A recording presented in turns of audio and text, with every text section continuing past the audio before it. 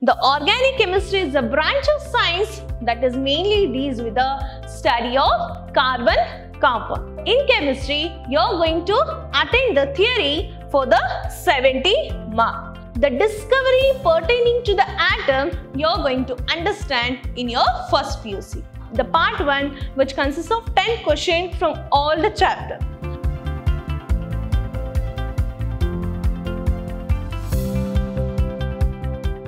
Hello my dear students, a warm welcome you all. Myself is Poornima, lecturer in Department of Chemistry at Vidhyaashram Pre-University College, Temple of Excellence, Mysuru. My dear students, in our last discussion, we were discussed about the bridge course. Under that, we have studied about the different topics which are the basic course to understand the advanced courses in your pre-university journey. Today, I am going to introduce the first PUC chemistry. Before that, chemistry syllabus. Okay. Before that, I like to say that chemistry is the easiest subject and you can make the fun with the chemistry only when you understand the chemistry. Okay. So let's see what we are discussing today. So today we are discussing about the chemistry definition, branches and the course structure which means to say that we are going to discuss about the syllabus. And for each syllabus or we can say that for each chapter what is the weightage and how the question paper pattern will go and what is the blueprint and which are all the books which is there to refer the first PUC chemistry let us discuss in this session. Okay. So my dear students, we already come to know that chemistry is a branch of science where we used to study the composition, structure and the properties of the matter. And also we come to know that in chemistry we have a five different branches. Can you recall it once again? Which are those? First one is a organic chemistry, inorganic chemistry, physical chemistry as well as a analytical chemistry and a biochemistry. Remember, for your pre-university journey, you have only the three branches. Which are those? Physical chemistry, organic and a inorganic chemistry. And we all already know that the organic chemistry is a branch of science that is mainly deals with the study of carbon compound. Whereas uh, inorganic chemistry, it is a, another branch of science or a chemistry, it deals with the study of other than carbon compound. Whereas in physical chemistry, remember, we are studying the properties of both organic and uh, inorganic compounds. And in pre-university journey, we used to call this physical chemistry as group 1 and inorganic chemistry as group 2 and organic chemistry as group 3. Okay? Physical chemistry as a group 1, inorganic chemistry as group 2 and organic chemistry as a group 3 where the other two branches of chemistry that is analytical chemistry and the biochemistry. So this analytical chemistry you're going to understand only in the practical. Suppose if they give to do the or if they suggest you to do any practical experiment you know that time you will come to know that how to hold apparatus, how to do the experiment that all comes under the analytical chemistry. So this is a small introduction to the branches of chemistry. Let's see the pattern of examination. So in your pre-university journey, remember you're going to write the chemistry as one of the separate paper. So in chemistry, you're going to attend the theory for the 70 mark. You're going to write the theory for the 70 mark and remaining 30 marks is for the practical. Is for the practical. But what happened? In your 10th standard, up to 10th standard, you used to read the chemistry as one of the part of science. But here, in the pre-university journey, you are going to write the chemistry as a whole subject for the 100 marks. In 100 marks, remember, 70 is for the theory and 30 is for the practical. So, together, it will be form a 100 marks. So, it is very easy to score out of out in the chemistry because the practical is very easy and the theory part is also very easy to understand and to write also. Let's see which are the syllabus will be there in a first PUC chemistry. So in the first PUC chemistry, you have 14 chapters or 14 units will be there in your first PUC chemistry it has been divided into two parts. So in the first part, they have listed out the seven chapters. Okay, up to equilibrium, they are known as part 1. From the redox reaction to the environmental chemistry, that is known as part 2. So here they have divided the whole syllabus into part 1 and part 2. In part 1, you have a 7 chapter. Whereas in part 2, you have the remaining chapters. That is the other set of chapters. Totally, you have 14 lessons or the 14 chapters in your first PUC chemistry. And here, I have listed out the names of those units. Now, let's see what is a core structure? Which mean to say that already I have told you in a chemistry, we divide the whole chemistry into three different branches, right? So, in physical chemistry, that is in the group 1, which all the chapters will come and what is the weightage for each chapter, let us understand, okay? In a group 1, that is in a physical chemistry, we have five chapters. How many chapters we have? Five chapters. Okay. The first chapter is some basic concepts of chemistry. In this chapter, remember, we are going to understand what is a matter and how do we classify the matter based upon the physical state and also upon the chemical composition. In addition to this, we are going to understand the mole concepts and how to identify the empirical and molecular formula and the types of chemical reaction that and all comes under your first chapter in your physical chemistry. And the weightage for this chapter is 8. So, from this chapter, you can easily get a 8 marks. Coming into the second one, that is structure of atom. Already in your 10th standard, you know the basic things about the atom. In addition to this, the discovery pertaining to the atom, you're going to understand in your first PUC. So for this chapter, the weightage is 9. Okay.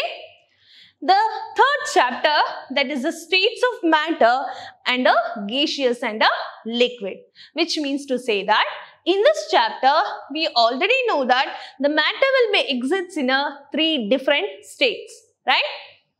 But the first state, that is a solid state, you're going to understand in a second PUC. Okay, the remaining two state that is the gaseous state and the liquid state under that you're going to understand the behavior and the nature of the gases and the liquid and the weightage for this chapter is 8. So you can easily get the marks. Coming into the thermodynamic. In this chapter, remember, you're going to understand the study of heat and uh, the heat change. And how does work is done on the system, that and all we are going to understand from this chapter. And the weightage is 10. And next is a equilibrium. In this chapter, we are going to understand the physical and the chemical processes. In addition to this, we are going to understand what is the acid, what is the basis, what is the concepts of pH, that and all which comes under the equilibrium chapter and it will carries 12 marks. It will carries 12 marks. From only from the group 1 that is in physical chemistry the total weightage is 47. So the total weightage will be 47 only from the a group 1 that is in a physical chemistry. And let's see which all the chapters will be there in a inorganic chemistry. Again in a inorganic chemistry that is in a group 2 we have 6 chapters. We have 6 chapter in the first chapter, that is classifications of the element and periodicity in a property. In this chapter, we are going to understand the uh, basic things regarding to the periodic table and also regarding the trends. Already we have discussed in a bridge course. The advanced one you are going to understand from this chapter and it's a small chapter. From this you can easily get 4 marks.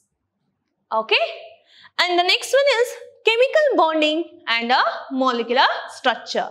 In this chapter, you're going to understand the types of bonding like ionic, covalent, coordinate, hydrogen bonds, that and all which comes under this chapter. In addition to that, we are going to understand what is hybridization and its type. The main from this chapter, you can earn 11 marks and it is one of the easiest concepts in your inorganic chemistry. Coming into the redox reaction. We are all familiar with the redox reaction, right? So from this chapter also, we are going to understand what is oxidation reaction and what is reduction reaction and how to find out the oxidation number and also what are all the types of redox reaction is there that and all we are going to discuss from this chapter and the weightage will be 4. And the next chapter is hydrogen. So from this chapter it is one of the easiest chapter once again. We are going to understand the physical and the chemical properties of the hydrogen and the compounds of the hydrogen also we are going to understand from this chapter and the weightage will be very small that is 3. Okay. Next one is S block elements. Remember in our introduction of the bridge core, we have discussed about the periodic table. Under that, we also studied the some of the blocks in the periodic table. In your first PUC also, again, you're going to discuss about the physical and the chemical properties of the S block element that comes under the group 1 and group 2 elements. The group 1 and group 2 elements with the physical and the chemical property you are going to study from this chapter and the weightage will be 6. And next chapter is a some P block element. So from this chapter you know only the group 13 and 14. The group 13 and 14, you're going to understand the remaining group from 15 to 18, you're going to understand in your second PUC classes. Okay, only two groups will be there, that is group 13 and group 14, and the total weightage will be 7. So again, from this inorganic chemistry, the total weightage will be 35. Okay, you can easily get this 35 eh, once you refer the inorganic chemistry chapters. Okay. Next, we'll move on to the last one that is the organic chemistry that is also known as group 3. So here in organic chemistry only we have three chapters. The first one is all about the general introduction to the chemistry with the principle and with the technique. So this is a basis for your second PUC. Because in this chapter, you're going to understand the basic concepts of the organic chemistry that help us to understand for the second PUC classes. And the weightage will be 11. Next is hydrocarbon. In your 10th standard also, you all are studied about the hydrocarbon. Here also, we are going to understand the physical and chemical properties of the alkane, alkene and alkyne.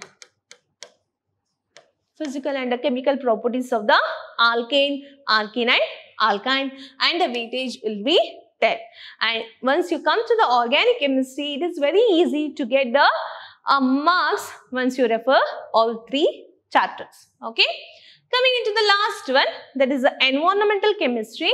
In this chapter, you are going to understand what is the air pollution, what is the water pollution, what is the pollutant, what is the green, green chemistry and how does the acid rain will be caused that and all will comes under this chapter and the total weightage for this chapter is 2 so the total weightage from this organic chemistry is 23 so this shows that in your first puc you have 5 physical chemistry chapter and 6 inorganic chemistry chapters and only 3 organic chemistry chapters Totally, there are 14 chapters will be there in your first PUC chemistry. Now, let us move on to know about the weightage of each chapter. Already we know the weightage and how it has been distributed. Let us study. Okay. In the first chapter, that is in a uh, first lessons in a group 1, that is in a physical chemistry, some basic concepts of chemistry. Here, in this chapter, the total weightage will be 8. How does it has been split? So you can see that it has been split into 1 mark question, 2 mark question and a 5 mark question. Okay. Here I have used the bracket to know you that these are all the question numbers in your examination. Okay. Once you see the question paper, you know, you'll come to know that the first question always it will become from the some basic concepts of chemistry. Okay. And also the question number 11 that carries 2 marks will come from this chapter and also question number 27. Coming into the second chapter, the total weightage will be 10. In this chapter, there is no 1 mark, 2 mark or the 3 mark question. Directly we have 2 5 marks question. Directly we have 2 5 mark question. Coming into the chapter 3, that is a states of matter. Under that, you are going to understand only the liquids and the gaseous state. For this chapter, we have one mark question and the two mark question and also we have a five mark question and the total weightage will be 8. And next one is a thermodynamic. In this chapter, remember there is no one mark question and the two mark question. Directly we have two 5 marks question. Coming into the last one that is in a equilibrium. In this chapter, we have only one mark question and two 5 marks question and total weightage will be 11. Total weightage will be 11. So, once you know this weightages from the each chapter, how it has been split into 1 mark, 2 marks, 3 marks and 5 marks, easily you can read out the each concepts in the chemistry and you can earn 70 on 70 in your final examination. Let's see in the group 2. In the group 2, that is the first chapter, classifications of the element and the periodicity of its property. From this chapter, you have a mark question and a 3 marks question and there will be no 5 marks question and the total weightage will be 4. And coming into the chemical bonding, in this chapter there will be no 1 mark question, directly you have 2 mark question and 3 3 marks questions will comes from this chapter. So which are all the question number? Question number 20, 21, 22. It always come from this chapter. Remember the bracket one which shows that these are all the question numbers will be there in your final question paper and the weightage will be 11. Coming into the redox reaction, again we have one mark question and a one three marks question and the weightage will be 4. And coming into the hydrogen, in this chapter, even though it is a small chapter, we have only one 3 marks question and the total weightage will be 3. Coming into the S block element, we have 1 mark question, 2 mark question and a 3 mark question and the total weightage will be 6 and there is no 5 marks question here. Coming into the some P block elements, in this chapter we have two questions from the 1 mark. So the question number 7 and 8 always come from this chapter and we have a 2 1 mark question. And remember we have again 2 mark 1 question and a 3 mark 1 question and there is no 5 marks question and the total weightage will be 7. So like this, if you understand how the weightage will be split, you know, you can easily read out the concepts in the chemistry. Let's say in the organic chemistry, in organic chemistry, that is in the a basic one that is uh, some basic principles and in the technique. In this chapter we have one mark question and two five marks question. The question number 35 and 36 always come from this chapter and the weightage will be 11 coming into the hydrogen in this chapter we have one one mark question and two two mark question. The question number 16 and 17 always come from this chapter and also one 5 marks questions will be there and the weightage will be 10. Coming into the environmental chemistry, we don't have 1 mark, 3 mark and a 5 mark. We directly have only 2 mark question because the weightage for this chapter is very small that is 2 hence they have kept only for the 2 marks. This is how I have split out the each groups and the weightage for the each chapter just make you to understand what is there in a first PUC chemistry and along with the weightages. Okay. Now let us understand the question paper pattern. So in your first PUC chemistry, once you see the question paper, you have four different parts. Okay. The part 1 always it consists of 10 questions. The part 1 which consists of 10 question. In that 10 question you have to attain all the 10 question. Each question will carry 1 mark. So you can easily get 10 mark from the part 1. Whereas in part B, you know, you have 8 question, okay. Under that, you have to attain only 5. Each question will carry 2 marks and you can get 10 marks there also. In the part C, remember in the chemistry, it always comes from the inorganic chemistry. The part C is always from the inorganic chemistry. For that also, they will give the 8 question so you're supposed to answer only 5 question. Each question will carry 3 marks. So the weightage will be 15. Totally you can get 50 mark. Okay. Coming into the part D.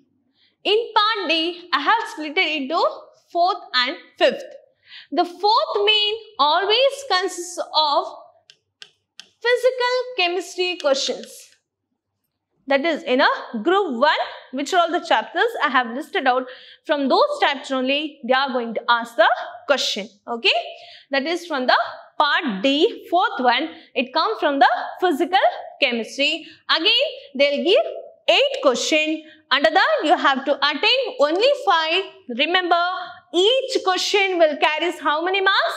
5 marks so total you can get 25 marks Coming into the part D, fifth one, it is already come from the organic chemistry chapters. It comes from the organic chemistry concepts. Remember, from this chapter, they'll give three questions. You have to attain only two. Each question will carry 10, 5 marks. So, totally, you'll get 10 marks. Okay. So from that you can easily earn 70 on 70 on your first PUC chemistry. Remember we have four different parts. Okay. Part 1, part 2, part C and part D. Part A, Part B, Part C and Part D. Remember the Part 1 which consists of 10 questions from all the chapter. Whereas the Part B which also consists of 8 questions, you have to attain only 5 that also comes from the all chapter. But remember the Part C it always comes from the inorganic chemistry where you have to attain the 5 question for the each 3 marks will carries 15 marks. Okay. The part D which is divided into 4th and 5th. The fourth one is for physical chemistry and fifth one is for the organic chemistry. So these question will carries a 5 marks and you have to attain 5 question from this physical part and you have to get 25 marks. So this is all about the small introduction to the question paper pattern which is there for your first PUC chemistry. Now let's move on to the blueprint. Okay. Already have explained you to the each lessons or with the each chapter how they have split the weightages into 1 mark, 2 mark, 3 marks and 5 marks. Okay. Remember the 1 mark question it always comes from the all chapter. Again in 2 marks question you know they'll give 8 questions you have to answer only 5. This is also come from the all chapters. Whereas part C they're going to ask the 8 question you have to write only 5 that come only from the inorganic chemistry. The part D, they are going to ask the question for the 5 marks. Here, it consists of both physical and organic chemistry. You must know that where they are going to ask in the fourth main as well as in the fifth main. Okay. Each chapter wise and each group wise have listed the hours along with the weightages. Remember, in your first PUC chemistry, they are going to prepare the question paper for the 1 or 5 marks. They are going to prepare the question for the 1 or 5 marks and there are 37 questions will be there in your first PUC chemistry exam paper. Okay. Among them, you are going to attend only 27. Each will carry 1 mark, 2 mark, 3 marks and 5 marks question and you are going to write the exam only for the 70 marks. So, this is a, a small outlook about the chemistry. Hope you all understood. We'll move on to the practical part. Already we come to know that which all the chapters will be there, weightage will be there. Let's see how do we do the practical. So once in, once you enter to the chemistry, you must know the practical things also. So here you are going to attend the practical for the 30 marks. Under that, you are going to do a salt analysis and another one you are going to do the titration that is a volumetric analysis. Only those two experiments you are going to do in your practical. Remember, in your salt analysis, they are going to give a inorganic salts for you. You have to find out the acid and the basic radical which is present in that inorganic salts. The best example I can give you is if you have taken out the sodium chloride inorganic salt that is a table salt we know that it consists of both acid radical and a basic radical like a cation and a anion right? Like that in your practical thing you're going to identify the acid radical and the basic radical present in your inorganic salt. Usually they will give ammonium bromide ammonium chloride, then aluminium sulfate, then barium chloride, barium chloride, calcium carbonate, magnesium sulfate. These are all the common salts that they are going to give you just to test for the acid and a basic radical and it's very simple. If you do that correctly, you know, you will get 10 marks. If you identify the acid radical and basic radical and if you name that inorganic compound, you know, you will get 10 marks. Coming into the volumetric analysis, that is the titration. Here you are going to do the two different titration. Among them, any one will be given to you for your final examination. Okay. The first one is a determination of concentration of the given NaOH solution by titrating against the standard oxalic acid. This is the first one. The second one is determination of concentration of a given HCl solution by titrating against the sodium carbonate. These two titration you will do in your regular classroom but when you do in your final practical, you know, any one of the titration will be given to you. Okay. So, from this titration also, you will get 10 marks. In addition to this, you have a Viva. Like in your primary classes, you have a Viva. Here also, for the practical, we have a Viva. And for this Viva, you know, they will choose only those concepts, okay? About burner, that is Bunsen burner, then pH experiment, equilibrium experiment and also about the purification technique. From those four concepts, you know, they are going to ask the four questions for you. Each question will carries one mark. You can get four marks for that. In addition to this, what you have to do? You have to submit the duly completed certified record. If you write properly, you know, with the all experiment, you're going to get 6 marks. So, totally, you can get the 30 on 30 from your chemistry practical. Remember, only two experiments you are going to do. First one is salt analysis. Under that, we are going to do the different salts okay and second one is a titration under that we are going to do the titration for the two different nature okay and the viva and you have a submission of the record for this you know you'll get 30 on 30 coming into the reference book so for your first PUC chemistry refer the NCERT textbook along with this you can refer the GWIT publication in addition to this, you can refer the exemplar textbook that make you to understand how the question will come from the each chapters.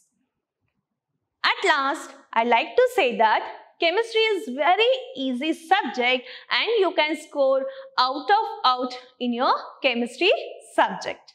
Okay? And I like to say that reach your goal before the goal kicks you. Thank you. We'll meet you in the concept class.